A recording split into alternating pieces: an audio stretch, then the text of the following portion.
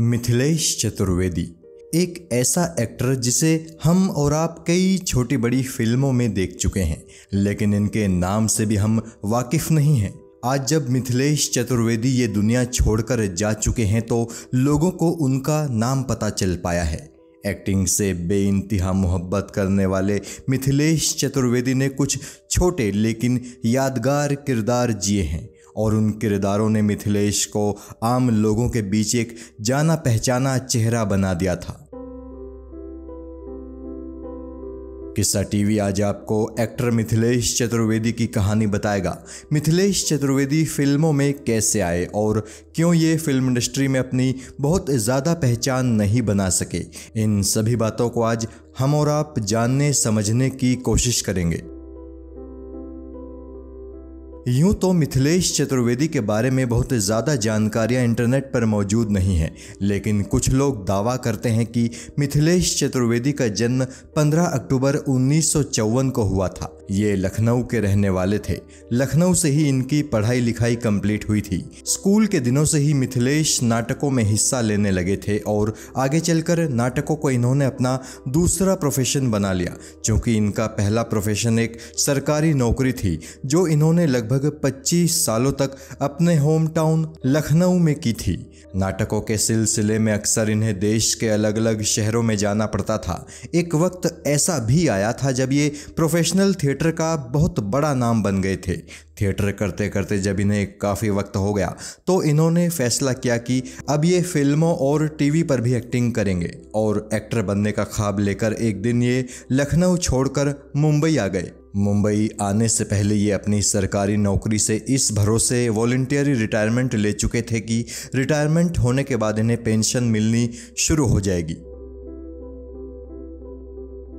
मुंबई आने के बाद मिथिलेश चतुर्वेदी को पहला ब्रेक मिला दूरदर्शन के शो उसूल में। उस शो में डैनी मुख्य भूमिका में थे, साथ ही टॉम ऑल्टर, टीनू आनंद और परीक्षित साहनी जैसे दिग्गज अभिनेताओं ने भी उस शो में काम किया था। उसूल के बाद मिथिलेश ने डीडी मेट्रो के शो न्याय में काम किया। मिथिलेश अक्सर कहा करते थे कि जितना सशक्त और मज़बूत रोल इन्हें न्याय शो में मिला था, वैसा फिर कभी इन्हें दोबारा नहीं मिला।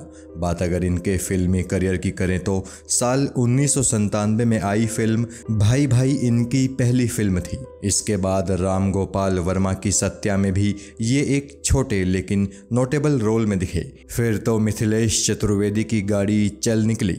इन्होंने ताल, फिजा, गदर एक प्रेम कथा, अक्ष, अशोका, रोड, कोई मिल गया, किसना, बंटी और बबली क्रिश हल्ला बोल, क्रेजी फोर, अजब प्रेम की गजब कहानी, रेडी, फटा पोस्टर, निकला हीरो, मोहल्ला अस्सी अर्जुन पटियाला जैसी फ़िल्मों में काम किया। इनकी आखिरी फ़िल्म थी साल 2021 में आई फिज़ा में तपिश, जिसमें ये इमाम के रोल में नज़र आए थे।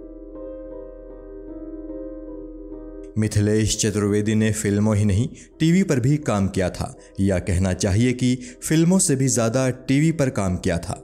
जी टीवी का popular comic show Neeli Chhatri Wale में इनका निभाया आत्माराम चौबे का किरदार हर किसी को पसंद आया था। टीवी के साथ साथ मिथिलेश चतुर्वेदी ने कुछ वेब सीरीज़ में भी काम किया था। इनकी सबसे चर्चित वेब सीरीज़ थी स्कैम 1992 जिसमें इन्होंने दिग्गज वकील राम जेठमलानी का किरदार निभाया था। फ़िल्म कोई मिल गया में मिथिलेश चतुर्वेदी ने रोहित के कंप्यूटर टीचर का छोटा सा रोल निभाया था। ये रोल इन्हें मिलने की कहानी बड़ी रोचक है। दरअसल राकेश रोशन ने मिथिलेश को फिजा फ़िल्म में देखा था।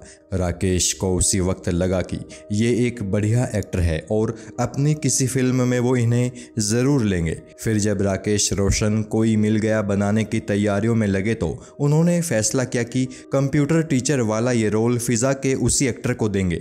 लेकिन दिक्कत ये थी कि राकेश रोशन के पास इनका कोई कॉन्टैक्ट नंबर नहीं था। तब एक्टर रवि झाकड़ को बुलाया गया। रवि झाकड़ मिथिलेश के साथ फिज़ा में भी काम कर चुके थे। राकेश ने रवि झाकड़ से पूछा कि वो एक्टर कौन था? फिर जब रवि झाकड़ ने राकेश रोशन को बताया कि इनका नाम मिथिलेश चतुर्वेदी है और मैं इन्हें जानता हूँ तो राकेश ने उनसे कहा कि इस एक्टर को बुला लो। इस तरह मिथिलेश चतुर्वेदी कोई मिल गया फ़िल्म का हिस्सा बने। फिजा के बाद ऋतिक रोशन के साथ मिथिलेश की ये दूसरी फ़िल्म थी। पिछले कई दिनों से मिथिलेश चतुर्वेदी दिल की बीमारी से जूझ रहे थे। मुंबई के कोकिलाबेन धीरूभाई अंबानी हॉस्पिटल में इनका इलाज भी चल रहा था। कुछ दिनों पहले मिथिलेश चतुर्वेदी को दिल का दौरा भी पड़ा था। तभी से इलाज के लिए मिथिलेश चतुर्वेदी अपने होम टाउन लखनऊ आए हुए थे। तीन अगस्त 2022 को मिथिलेश चतुर्वेदी की सांसों ने उनका साथ छोड़ दिया और वो हमेशा हमेशा के लिए ये दुनिया छोड़कर चले गए। मिथिलेश की निज ज़िंदगी की बात करें तो उनका एक बेटा और एक बेटी है। उनके बेटे का नाम तो हमें नहीं मालूम चल पाया, लेकिन उनकी बेटी का नाम निहारिका चतुर्वेदी है और उन्होंने आशीष चतुर्वेदी से शादी की है। आशीष चतुर्वेदी ने ही मिथिलेश चतुर्वेदी की मौत की खबर को सोशल मीडिया के ज़रिए उनके चाहने वालों तक पहुँचाया था। किस्सा टीवी मिथिलेश चतुर्वेदी को नमन करता है और अभिनय जगत में उनके योगदान के लिए उन्हें सैल्यूट करता है। जय हिंद।